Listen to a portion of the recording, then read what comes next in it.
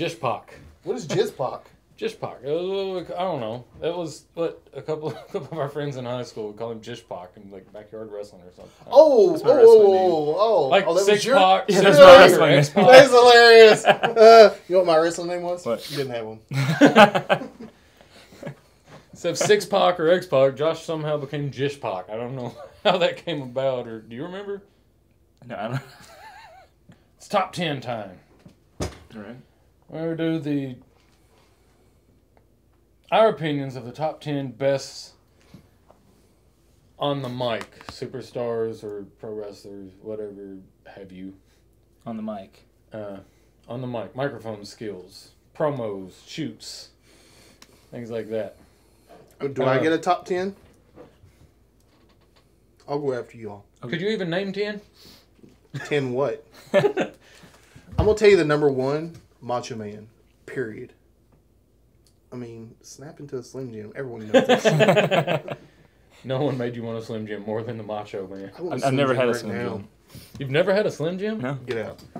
I, did, Yeah, get out. What the fuck? You've I, never, don't, I, you've I bought into everything Macho Man said except for the Slim You've Jim. never had. That was- A, um, have you ever had a meat stick? No. You've never. What about just regular beef jerky? No, I never had it. What? Never tried. uh, there's something gross about I don't know. It was too too macho for me, I guess. You've never had any beef jerky. Do you eat meat? yeah, I do. I eat, I eat meat. You- you Almost eat exclusively meat, except Okay. for. so I just never tried this one. so so so. How is it possible for someone not to have beef jerky or Slim never- Jim? I don't understand. Are you American? Or were you born here? What the hell? Like literally, not at beef jerky. I think to myself, when I was growing up, the only way my dad would get us to go anywhere with him was to buy us beef jerky. yeah. He'd buy us a meat stick and be like, flat around. that was the only question, flat around. Flat around. I've never had. like Matt's one year old daughter just turned one a couple weeks ago, and for her birthday, he got her a box of Slim Jims. and that's what she wanted. She he, she had her own cake, but she didn't want it. She wanted the Slim Jims. She, had to, way she had to stick Slim Jims in. jerky. and I want to hear about it. yeah. Oh, uh, the Have best you, have one. you just the- like made it a point not I just I don't know. I, for some reason it was too it was too macho. It was Get the, get the really freaking hot habanero What? Slim Jim. it was macho. No, no, no, no. Get the cracked pepper Slim Jim. It's Oh, better. that's a good one. It is a good one. I just kind of wanted. Well, I would like to be with him though if he I got the would too, freaking hot actually. habanero Slim Jim. Beef jerky. Nah, I, I, I want to talk about beef jerky now because, like, I'm gonna have to just do a whole show where we make Josh eat Slim Jims and beef jerkies. that's not fair. I want to do it too. I mean, well, we can eat them, but I just want to watch him try his first one. Snap into Get, my, get him the snap into my monster. first Get him the Slim Jim. monster, so he's like, You get what you what you do is you buy like extremely lean hamburger meat and make your own. It is extremely good. I mean, like I used to buy it from this lady when I worked. I mean. I, I, Can you still I've snap made my into own it? beef jerky. It has a snap on the edge, the edges of it, but it's not nearly as it's hard. I would eat a homemade That's Slim. Jim. But you won't eat a store bought Slim Jim. I just never have. Uh, It's not This I wouldn't. portion of Life's a Beach has been brought to you by Make Someone Eat a Damn Slim Jim. share, share with a friend. You're married and you do have kids, right? Yeah. You still have not had a Slim Jim. Never had a reason to. I don't guess. I don't That's think I don't think anyone's I've ever never- offered me a Slim I've Jim. never had a reason to breathe. I This is just- the weirdest damn thing I've ever heard. I don't think anyone's ever offered a Slim Jim until now. I guess. All right, Josh. Uh, top ten best on the microphone. You can start us off, Josh, with your your your number ten choice. Uh, I would- Best on the mic. my number ten would be uh, Mr. Perfect, Curt Hennig. I don't know his name. That's hilarious. I did consider him for the. I went back and forth just- between him and Ravishing Rick Rude. Mm. But Rick Rude. remember that guy? Yeah, I mean, I Pe- remember. I know these people. They he- both they grew would- up together in, in Minnesota. So. Yeah, where the girl, the girls would. What was the What's game the they played where the, where the girls would make out with him and faint yeah. on, on camera and they would be narrating it? Yeah. That's right. That's, that's a good one though. Curt Hennig was uh, maybe not in the later days of WCW when they made him like the country singer and thing, Yeah. like rap. He is crap. that was horrible. That was garbage. But when he was Mr. Perfect in the WWF, I said it. In the WWF, with his man, it was just his vignettes alone, where he's Yeah, like yeah. with the basketball, the golf, the bowling, everything. the, the hitting the His gum at the, at the his crowd. vignettes, his videos. Okay.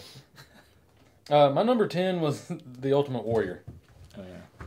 Warrior It never made sense. never made sense, but think about it. That made him awesome on the microphone because I mean, this is a guy that's from parts unknown. I love Just like speak randomly, random if you could shit. think of the banks of Lake Titicaca. that in my head makes me makes me wonder like if he knew he was speaking like to people and not like spirits. Warrior, that, that's what I enjoyed last year about Warriors Hall of Fame induction. I'm just like, I'm waiting for it because there's no telling what this guy's gonna say. But then he was just like, even inducted. he kinda was went like his normal. Kids and wife were inducted. no, that was that was this year because he died last year after his induction. But Warrior, you don't understand what he's talking about with the the rocket fuel and crashing to parts unknown and all that. But he played his character on the mic. So, Ultimate Warrior, Charlie Sheen. Yeah. We're, we'll accept that. Warrior was on my list. Warrior was on Tiger's Blood. Winning. Warrior ring. uh, okay. Well, uh, number nine. I put The Rock. As nine? It's not- Yeah, I think he'd be higher on the list. That man knows how to talk. Yeah, he was great. I mean, I, I think there were there were people with.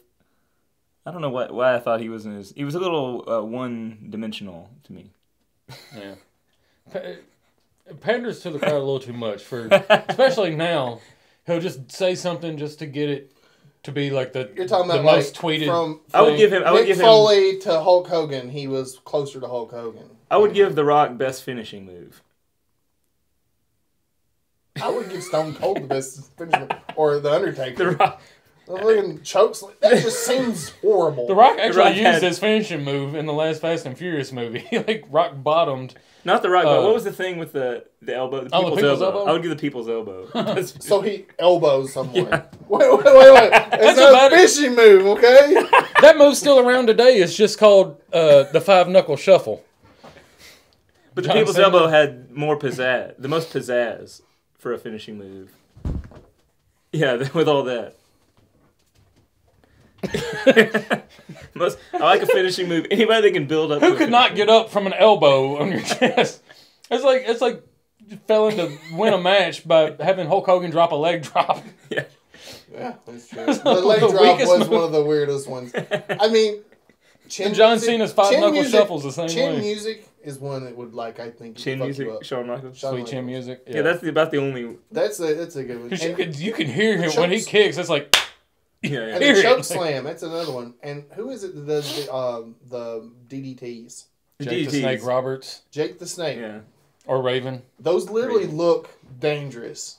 yeah. You know, if you don't trust the person doing it to you, you don't let them do it to you. Yeah. Uh, uh, Shane Douglas DDT'd. Uh, it's all fake. Sorry. Shane Douglas DDT'd the Pitbull Gary Wolfe in ECW once, and actually, like Gary Wolfe didn't take it right, and broke his neck, and he was in a halo for for quite some time after that. You know, there was there was a uh, one of the Steve Austin's podcasts I was listening to recently. He was talking to, uh, well, he talked about it with Jim Ross and Paul Heyman. Talk about no one sells a DDT anymore. Like he was talking about Jake the Snake back in the day. DDT somebody, they're done, they're out. He said now no one, it's not believable anymore because no one sells it. You, you give you somebody a DDT and they're up before the person that gave the DDT. You know why they call them finishing moves? Is if you get it off on someone, it's supposed to be the end. Yeah, and, then, But that's not true. lot now. Now, now, and I think it's mainly because of games. They're out of hmm action points or whatever it is. Yeah, the Well, concept thought- of a finishing move is, is kind of like a video Yeah, game. it's it's you know, I mean, I literally this is no joke. Undertaker or Kane, whoever the, the Big Show would do a choke slam. Those are detrimental. Sweet chin music. When you're running at someone and your face stops, but the rest of your body don't, that's detrimental. I Uh, can clothesline from Bradshaw. The Oh. clothesline from hell. Yeah, yeah. And have you ever been crosswing chicken face before? Crossface chicken. Yeah. Whatever. I tapped That out shit- in backyard Yeah, wrestling exactly. for a, That through a shit's crossface real. chicken wing. I can see those things, but someone elbowing or a leg drop or But that's what made that's the I think uh, the drama of the the, drama of I give points to the theatrics. Kind of like the what is the the backflip moon? Is it moonsault or something like that? Where someone runs, does a backflip and lands on people, or does a gainer? I have gainer on someone's face or Yeah. body or whatever it was. That is more detrimental on the person doing it. yeah, yeah. Rob Van Dam's five star frog splash. He hurts himself more than the person he lands on because he always rolls off them like, yeah. and he crawls over and covers him. You never saw Eddie Guerrero do a frog splash and be like, oh. But he just like hurts I was himself. thought I mean just doing a leg drop on on a wrestling ring. I did that and hurt my like whole bottom half like way more than because you have to land at People the people that do like high fly moves onto a table. There's a body in the way, but it's still a Yeah. table. I don't know how and Jeff you're, Hardy's you're not going broken in to half. break the body yeah. supposedly, then the table. What's next? An instant stop. An ass there's bone, no, a backbone. there's no, Yeah, there- yeah. there's no padding. It's it's. Hopefully the It's person's not still the under it's you. not the fall that's going to hurt you. It's the sudden stop Yeah, yeah. that's going to get you. Well, it's like have you ever done a leg drop and hurt someone? You can't I've do it. never done a You leg can't- drop. You can't. No, because I've leg dropped on trampoline. because So you just hit on the you hit on the weak part of your inside of your leg. If you're gonna hit Oh, you mean your butt? when you fall on someone, you hit them with the in the backside of your uh, what is that knuckle Thigh? on your knee called?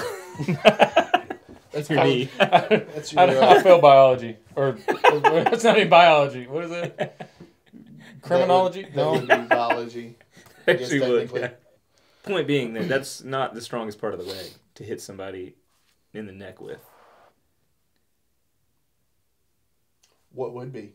the, the knee, the That heel. would I don't know. be horrible. It would be horrible for you. That, that's a move. Yeah. That's a move that Wait, looks believable. you fall and knee someone in the neck, that would break your leg. yeah. I, to be completely honest, the inside of your leg, the inside of your knee is probably the best place to hit The someone. back. Uh, number eight. Wait, I didn't even get my number nine. Uh, Chris Jericho. Who? He's got Y2K. Y2J, the Lionheart. Uh, Who? He's got the. He's got Oh, the. oh, Y2J. I got it now. He's got the mic skills, but can sometimes get a little annoying. Sorry, after 15 a while. years of, I don't know. I put I put uh Ted DiBiase as my next one. See, I know your man. list. you see it? I know, no, I know Oh, yeah. the people on your list. Oh, you do? Yeah. That's Ted DiBiase, I actually did you know what I consider mean? DiBiase, but I was like, eh. he was a good bad guy. He had a lot of money.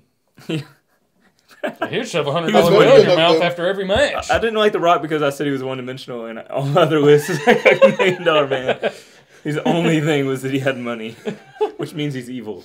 Chris Jericho, Chris Jericho was good, but he'd get annoying after a while with his. Well, the same with The Rock. He would say the same thing compared to the crowds. He would Jericho come would with have a the, spread never of ones. ever be the he same still was he had a lot of money. Yeah.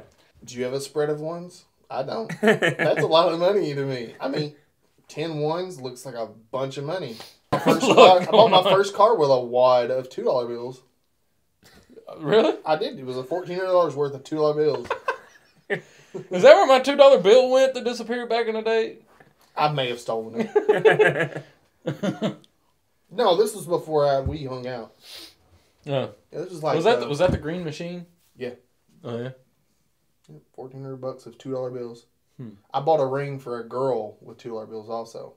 Okay, so you're number eight. You said Ted DiBiase. Yeah. Um, my number eight. Paul Heyman. I thought you were going to say something about You just putting it back up. My number eight is Paul Heyman. Genius with a microphone. Not a wrestler, but if it wasn't for Paul Heyman, He's who would Brock Lesnar be? He's 'Cause Brock Lesnar sounds like a, he's just a s- he's just a promoter. He's a, a genius promoter. promoter. They can He's not manipulate. really a genius promoter. He was a genius promoter. The people in. ECW weren't even getting paid, but he's like, ah, I get you, I get you. They just kept going until they went out of business in 2001. But actually, ECW, he had already walked on to WWE Raw, WWF Raw at the time, as a commentator before they ever folded ECW.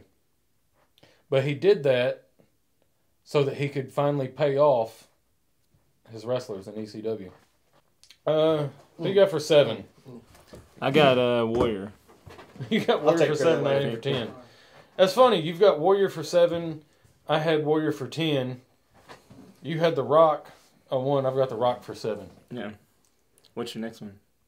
Uh, number six, Stone Cold Steve Austin. I had Scott Hall. Now I, I considered Scott Hall too, Scott Hall. See, it's another but one. his thing was, just, was- the best thing was just that. Hey yo, Yeah, yeah. Stone and the Cold toothpick didn't in do the shit. What he is known for is catching a beer. That's I what was he's, saying hell yeah or what. yeah. That's the thing. I don't. I don't notice that stuff, and I just kind of ignore it. Speaking of catching a beer, that almost hit me in the face. Brought to you by Steve Austin. That's shook up. That's gonna. I'm not gonna let it explode on my face and just pour it on myself. I'm gonna drink. I'm like the Sandman. It goes in my throat.